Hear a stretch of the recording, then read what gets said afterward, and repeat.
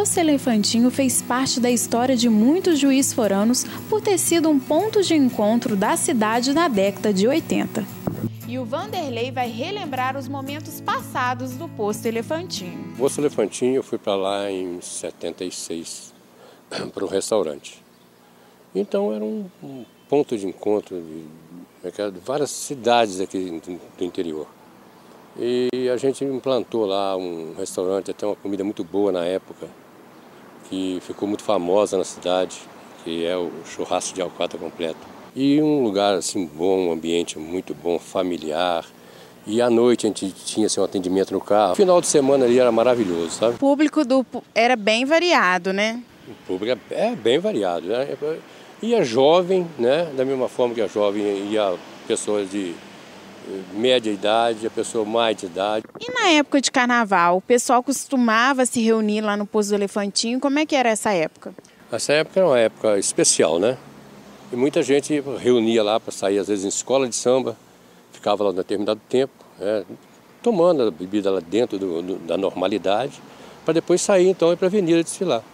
E nós encontramos aqui no local do antigo posto Elefantinho três frequentadores que vão nos contar sobre as suas lembranças.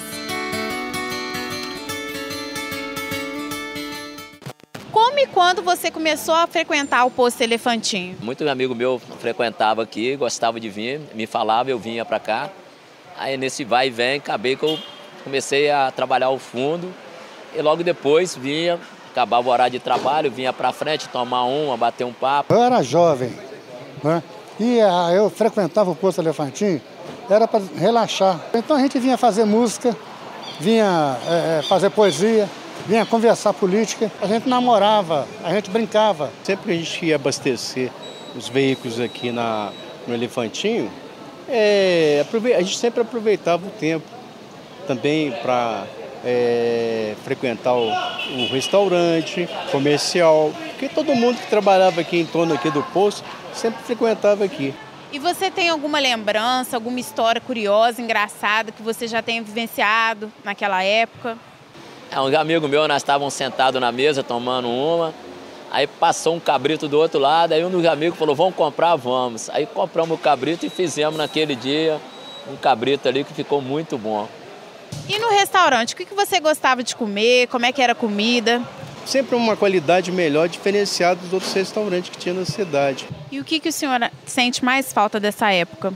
À noite, os atendimentos, música ao vivo, sempre os amigos também reunidos. O Bar Maquinaria é um bar e estúdio localizado na Rua São Mateus, número 552. Nós fomos até lá e conversamos com a Marcela, que nos contou a história do lugar. De onde que surgiu a ideia de criar o Bar Maquinaria? Então, a gente tinha a ideia de criar um estúdio no primeiro momento, e aí ficou um espaço meio ocioso aqui do lado de fora, e aí, como as pessoas que ensaiam às vezes trazem namorada, namorado, amigo, a gente fala, ah, vamos servir essas pessoas da melhor forma possível. E normalmente qual é o, o tipo de público que frequenta o bar?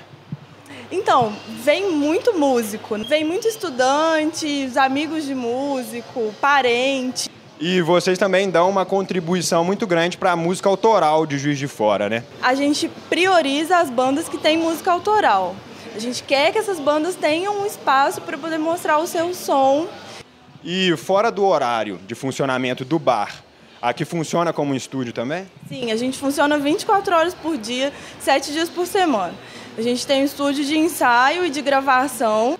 E como que funciona a logística aqui dentro enquanto a banda está se apresentando?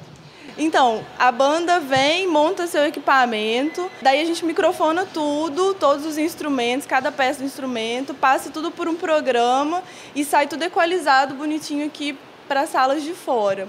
A gente tem também projeção, a gente coloca câmera lá dentro, tem projeção aqui fora, para as pessoas verem a, as bandas que estão lá dentro.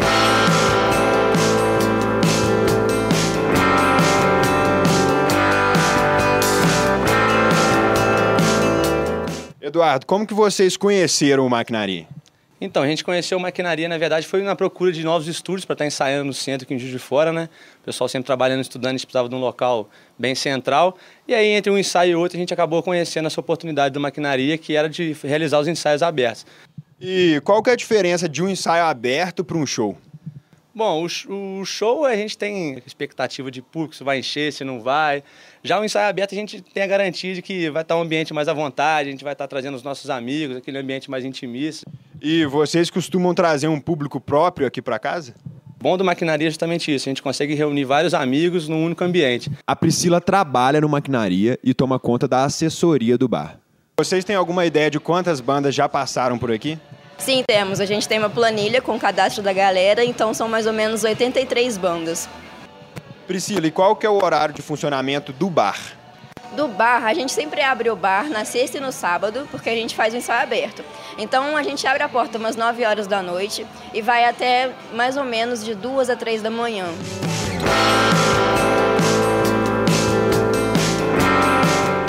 Eduardo, você costuma frequentar o bar sempre? Bom, é a primeira vez que eu venho. É uma musiquinha meio ambiente, né? Um ambiente mais aconchegante, né? Uma galera legal, é, é bem servido, né? E no próximo bloco você confere o Tabuleiro Game Bar. Não saia daí que o mosaico volta já já.